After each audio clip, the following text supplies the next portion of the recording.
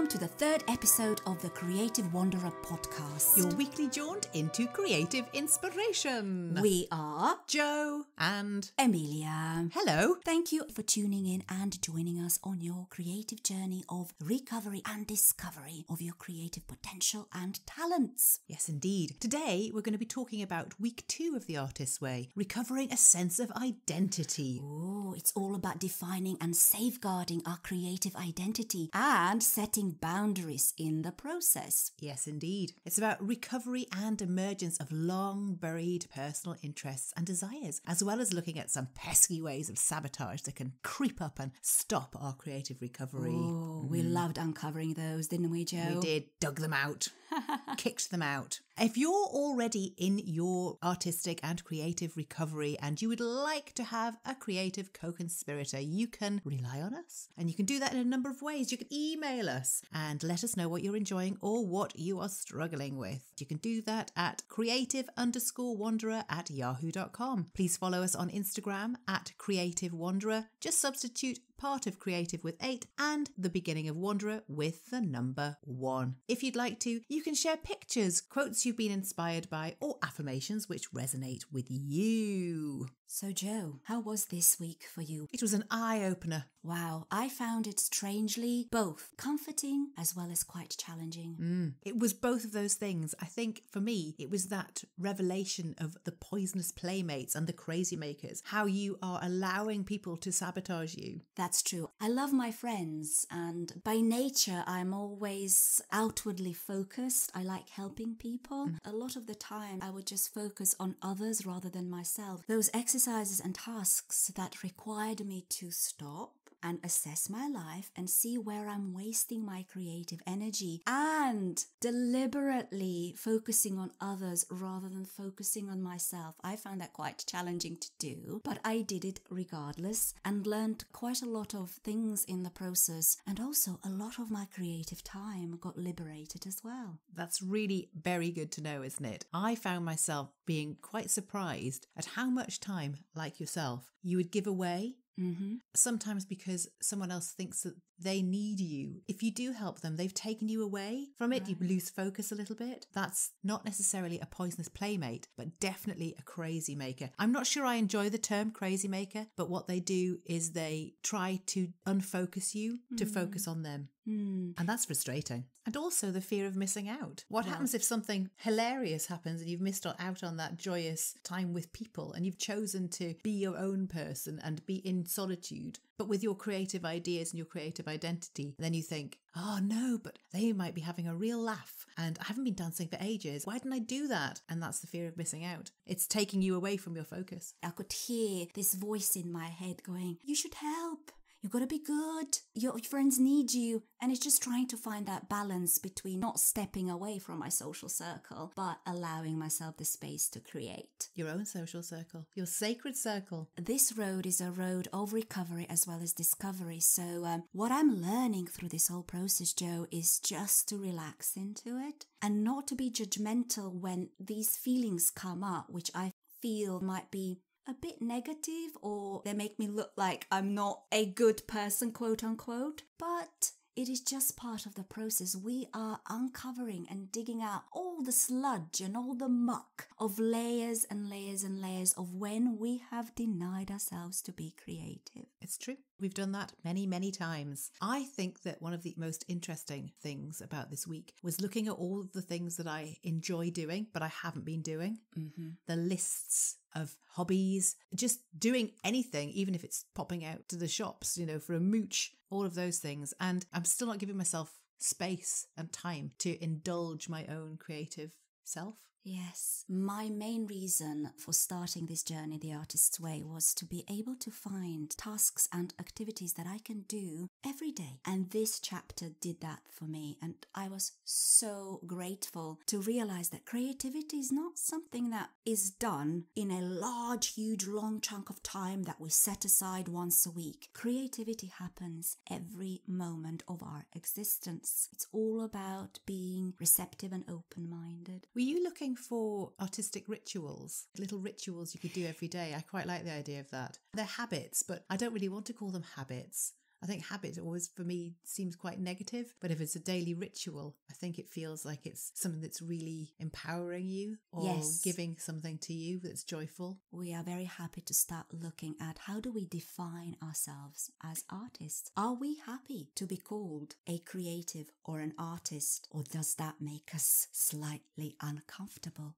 Well, it does make some other people feel uncomfortable when you say you're an artist or you're creative. I think creative has had so many connotations, like an art director at a marketing agency, Right. like the creatives. So it's been given a corporate connotation Hmm. in a way. We are creative, so I'm a creative, you're a creative. I think it's interesting once you start to trust your creativity, Hmm. you know, when you start to go sane, which feels like you're going insane. Yes, you start becoming quite erratic. And I've noticed the symptom of going sane. My life, my creative life, has become sanely erratic. It really has. There are so many things happening in one day that I do creatively nowadays. It feels like this tornado or a hurricane sweeps through my flat when I'm done. But it is very interesting when you think that you are really making inroads into your sanity, but to get there, you go a bit bonkers. You feel like you're in free fall. You do. You don't feel safely anchored to something. Yeah. As we start feeling stronger in our recovery, we experience self doubt, self attacks, and self sabotage. But these are recovery symptoms. They are. There will always be that critical voice inside of you telling you you're not good enough. We Yeah. call it the censor. The censor. How dare they? as soon as you start doing your creative task, you start thinking, you start judging. And Julia uses this fantastic term. She says, avoid the first think. Just continue and carry on with whatever creative activity you're engaged in. And what will be, will be. That's right. So, Joel, how did you find it? Did you find any of your saboteurs, those little voices coming up telling you you shouldn't be doing what you're doing? I didn't find a saboteur talking to me about not painting. I think that I've probably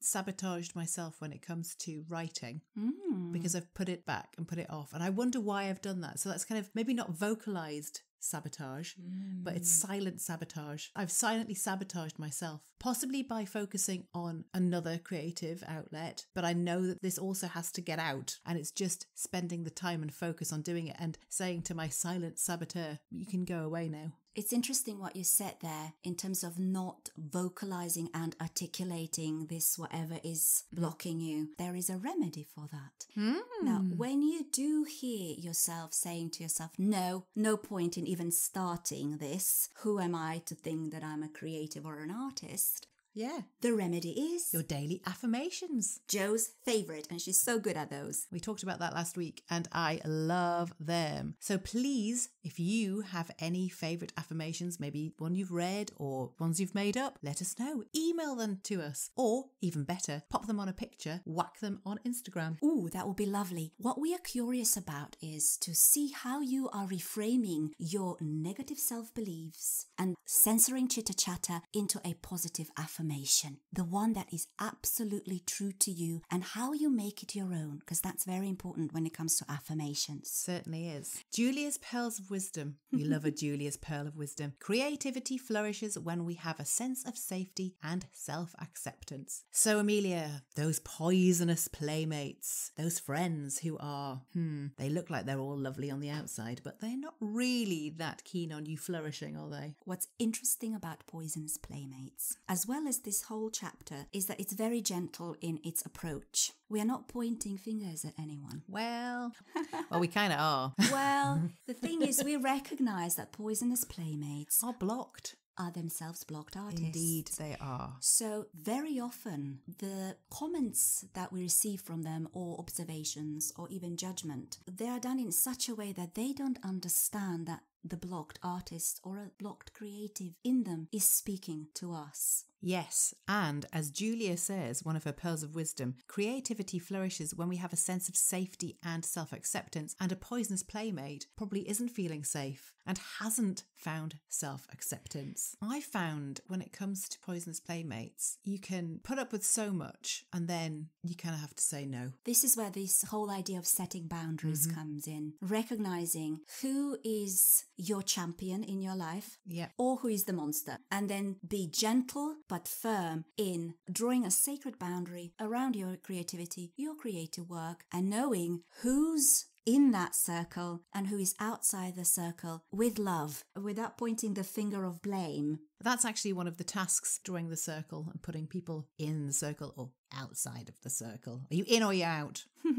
a poisonous playmate can be your best friend, your mother, your father, your family, your teacher, it doesn't matter. You'll recognize them by the fact that they are sabotaging your creative recovery and your creative expression. They are threatened by our creative recovery. Now, it's very interesting why they're threatened because you remind them that they have a responsibility to take care and nurture their own creative expression. They themselves are probably amazing creatives. But what we're learning about creativity on this journey is that creative expression requires taking risks and being authentic, and that's not easy to do. The poisonous playmates as well, what they tend to do is they can be watching the TV. They can look at some creative expression and believe that they can do better, although they're literally doing nada. Yes. So it's just that little defense mechanism within that person that's mm-hmm. speaking mm-hmm. out or speaking up. But I would not take it personally. That's what I've learned through this chapter. Because, yes, in your creative recovery, as you're digging out all your poisonous playmates and realizing who they were throughout your life, and perhaps you still have some that you connected to, you might get a bit angry, a bit like you want to lash out at them, wag your finger at them, tell them off. but you can't. Because when you recognize that they themselves are in the same predicament that you you were until recently, mm-hmm. until you started this recovery, then there is this sense of acceptance and love. So, how do we move through, navigate through the poisonous playmate playground? We have to place ourselves and our artist with safe, loving companions, people who really get us, people who are not out to get us. We talk about this all the way through the book, actually. It's all about who you are allying yourself with to make sure you're not criticized constantly or brought down or made to feel guilty or manipulated. They like to share their well meaning doubts with you. You know, well, what you're doing is lovely but it's not like you're going to make any money from it. And they kind of don't want you to be successful. They look like they're trying to make a wonderful, positive statement about you, but it's all backhanded compliment. Yeah, been you there. Know? I've got the badge as well. I've been on the receiving end. But you know what? I'm not going to lie to you. I've also been myself a shadow artist and a poisonous playmate. Haven't we all? Haven't we all? Let's just be honest. Oh, We're yeah. not saints Aww. and exactly and angels because we at any stage of our life can be at any stage of this creative recovery and discovery. It is about accepting where we are and moving forward mm-hmm. by doing. I usually recognize that I've been on the receiving end or I've allowed to doubt myself if I start experiencing frustration in my life. Mm. I get creatively frustrated. Something doesn't fit. I'm just not happy or I get blocked. All of a sudden, I just can't write or can't read. I trip over the words. It's weird. So, there is a beautiful quote that Julia put in the book. It's by Shakti Gawain and it says, Every time you don't follow your inner guidance, you feel a loss of energy, loss of power, a sense of spiritual deadness. We've all been there. Emilija, you and I are on the recovery path of moving from self doubt into self expression. And you found it very healing and gentle. And I feel like for a lot of my life, I've been on this path without knowing it. I've been through self doubt on many different levels and then chipping away at the constant barrage of self doubt, of self sabotage. A lot of people are frightened of being successful. Mm-hmm. You sabotage yourself because you never know. You may be incredibly mm-hmm. successful. And what happens then? we tend to catastrophize. We tend to project the worst scenario ever, even with the most positive projection of success, and think that's just too scary. Yeah. Thank you for your honesty, Jo. This is what this chapter is all about finding these silly voices inside of our heads that we've actually labeled silly, but they're quite serious. But we think that's such a silly thing to think about, right? But those are the ones that we want to drag out of the shadows and shine a light on and say, why do I feel like that? Why am I so judgmental and so unloving towards my talent, towards my artistic expression? It's that feeling of camaraderie, knowing that other people have felt exactly the same way throughout their lives and you're not going crazy. And it- it's okay to go through it. It's not self indulgent to go through it. It's not, oh, woe is me or self pity. It's none of that. It's a process. There's often light and dark necessary to make you a creative being. Both you and I found one particular paragraph very helpful when it comes to using remedy tools. We'd like to read that paragraph to you. The paragraph also leads to the rules of the road. So Julia does have a beautiful way with words. This is the paragraph we're talking about. Draw a sacred circle around your recovery. Give yourself the gift of faith. Trust that you are on the right track. You are.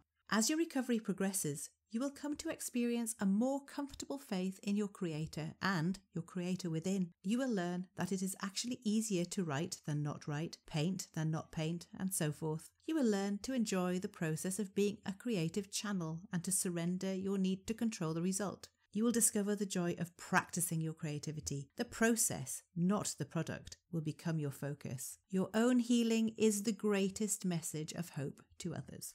That's wonderful, isn't it? It is indeed beautiful. It's so gentle and so soothing. But Julia doesn't stop there. She doesn't stop at all. No, no, no, no. I mean, we're She- going on a wander, aren't we? What are the rules of the road? Oh my goodness, I've just connected the two. Well Do, do, done. do. We are, after all, the creative wanderers.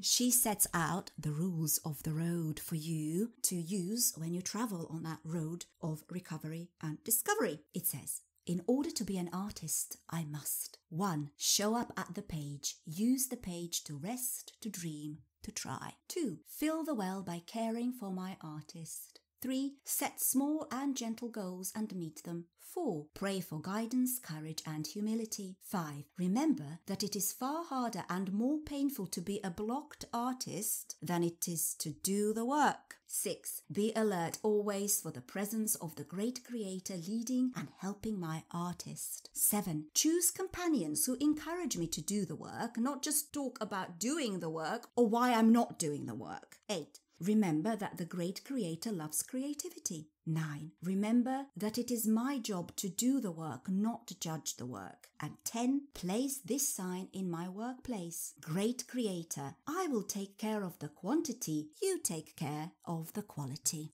Fabulous. We've already touched upon the second type of a saboteur, the crazy makers. They make you crazy? We all know who they are. Oh, we certainly do. We've got special words for them. Well, there are a few choice words for them. There are a few choice words that we can't say, but the ones that we can say, they're difficult people, they have challenging personalities, they're attention seekers, drama queens, Divas. They're self centered and egotistical, but they are also blocked artists. So that is very important to remember. We always come to the place of understanding where other people are attacking us from. Their blocked creativity. You don't just have to shout expletives at them. No, you don't. Profanity. Uh, well, maybe in the past, but now we know better because we've realized what is going on. The same as the poisonous playmates, the crazy makers are also external blocks. But we are allowing it to happen. I call them master saboteurs because they are energy suction machines.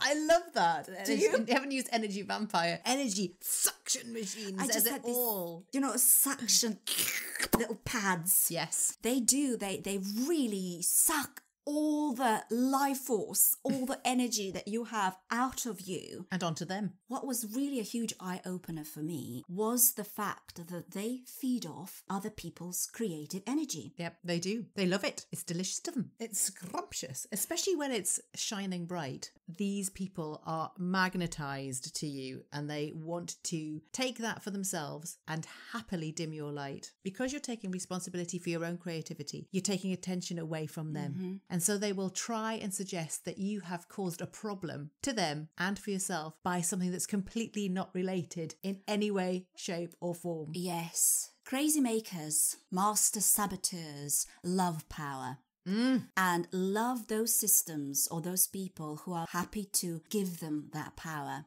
It's not all their fault because if you are creatively blocked to such a degree that you really do not want to look at your artistic expression, creative authenticity, you're not willing to take responsibility for it, but going out there and taking all these, you know, knocks on the chin because let's face it, you'll get attacked. That's just the universe we live in. It's not favorable towards artists, but do we care? No, we don't. We just go out there and keep on creating. You know you are really creatively blocked when you are allowing a master manipulator in the guise of a crazy maker to actually drive you crazy because they create, Julia says, storm centers around them. They do. They always rock up with a suitcase full of problems and they expect you to solve those problems. They never offer up any solutions. The real question is, why on earth are you putting up with it? Why are you doing it? Because being a block creative, you will go to extraordinary lengths to remain blocked because of the fear of the unknown,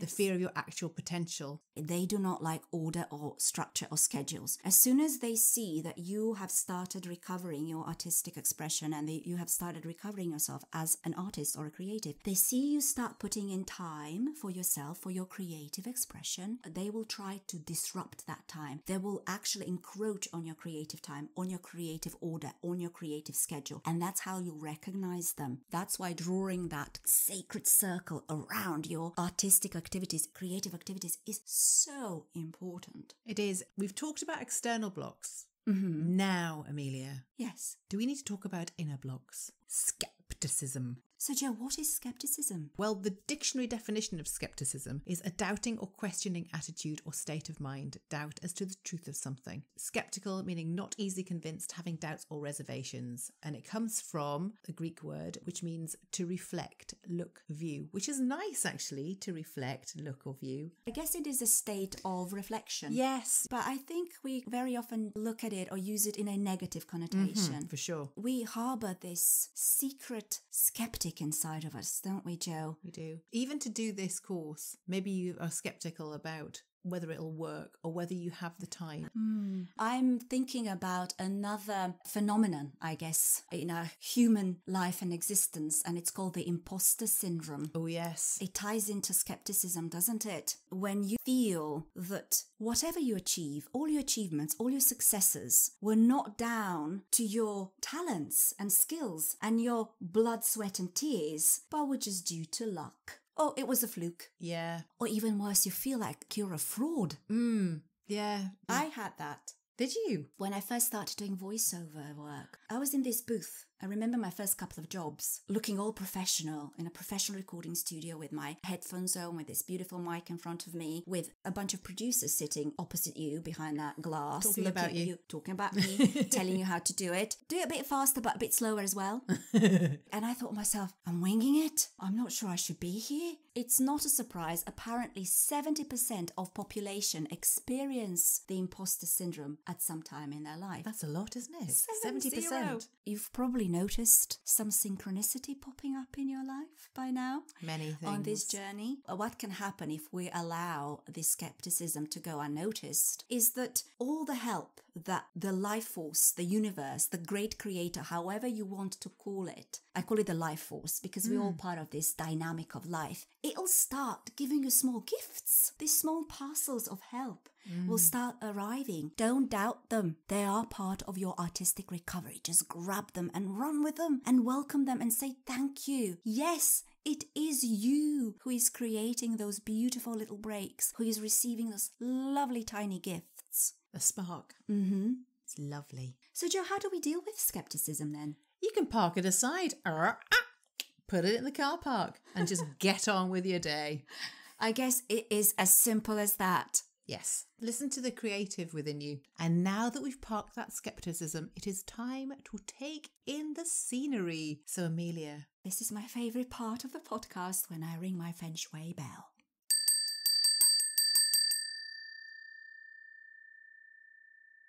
Ah, that was lovely, wasn't it? A little moment of serenity and peace.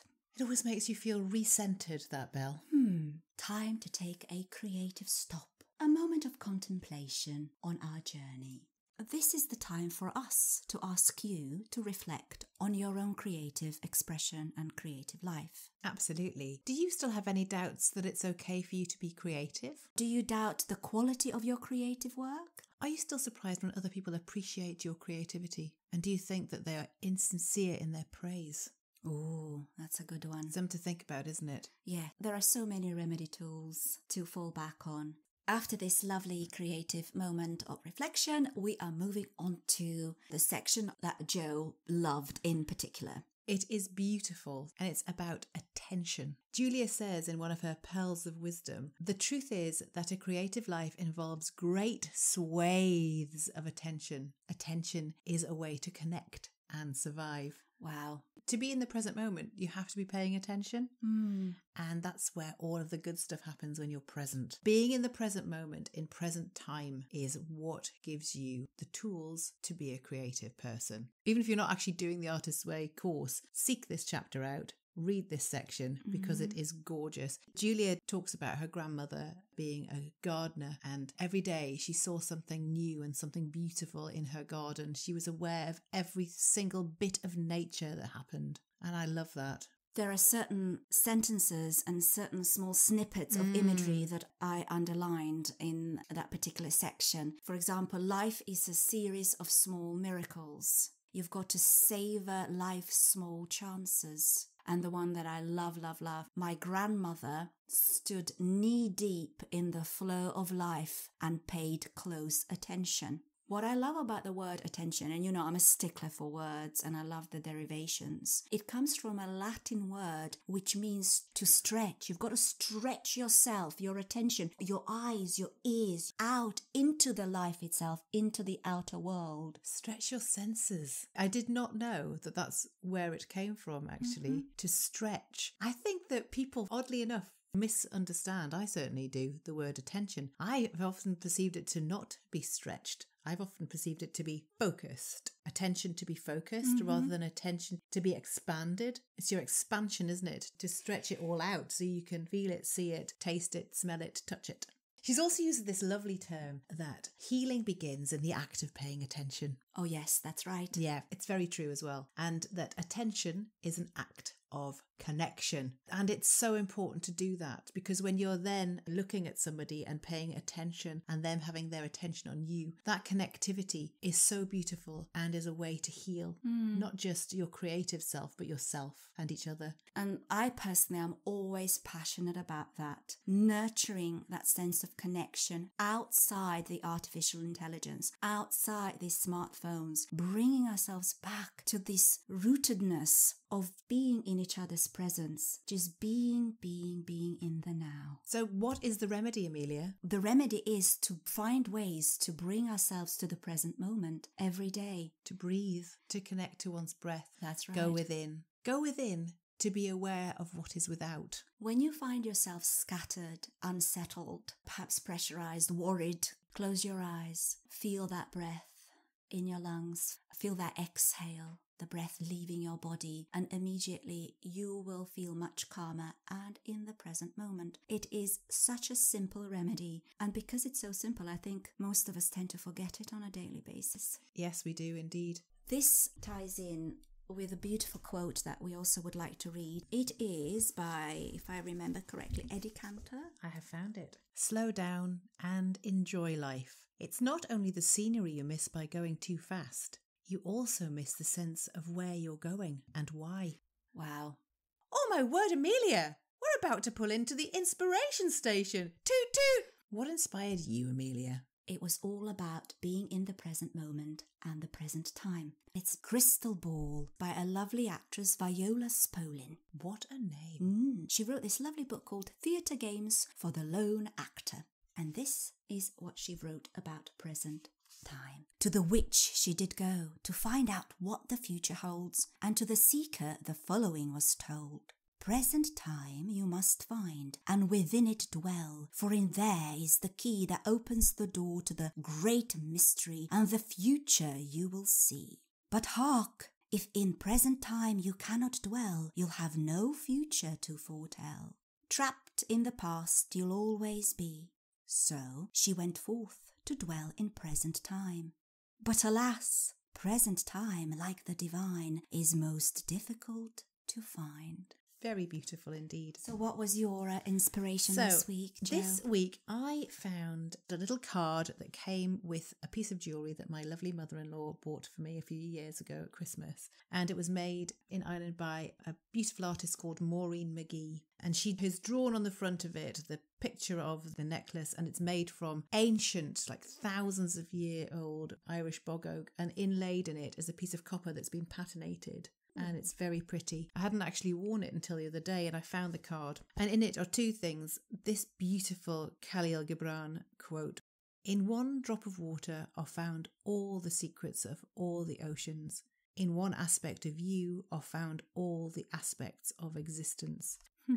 And then there's one other piece that's beautiful, and it's on the back of the card, and it's On Beauty by Frederick Turner. A beautiful thing, though simple in its immediate presence, always gives us a sense of depth below depth, almost an innocent wild vertigo as one falls through its levels. I love that. There is that sense of connection when we connect to beauty, and it's almost like time and space disappears, everything just stops, and everything is in that state of suspension. Mm. And you're just absorbed by that thing. I love your inspiration station moment this week, Jo. It's really beautiful. Thank you for sharing it. Likewise. Well, this is also an invitation for you to share your own inspiration station moments. Should you wish, you know how to contact us. We now move, Emilija, on to the very well put together, as every week is, tasks. Oh, yes. And there are 10 tasks. I know that we both really like the life pie. I love the life pie. Mine was very lopsided. Oh, yes. I think that did change ever so slightly because you, you, you get asked to do it again, and mine, it wasn't quite so lopsided, but also it's still very much a spider. It made me reconnect with quite a lot of my old friends, which was really beautiful. That's very nice indeed. Yeah, because that part of the pie was rather well. There was, there was no pie there actually.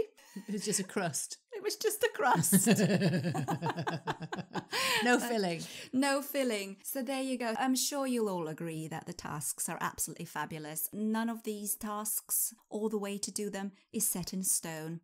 I believe, Emilija, what has happened is that we've come to the end of another podcast. Have we? We have. It feels we like have. we've just started. That's because you and I could talk for England, Ireland, Scotland, Wales, Croatia, and all of the, you know, the whole of the world. Exactly, all the neighbouring Indeed, countries. indeed. So coming up next week, week three, Ooh, yes. it's a dynamic week. We'll be dealing with recovering a sense of power. We'll be dealing with emotions such as anger, shame, and criticism. I cannot wait to step into my creative power with you and with you guys. So thank you so much for joining Emilija and I, and we hope that you have fully enjoyed this episode of The Creative Wanderer. Thank you for wandering with us, and remember to. Always be on the lookout for the presence of wonder. See you next time.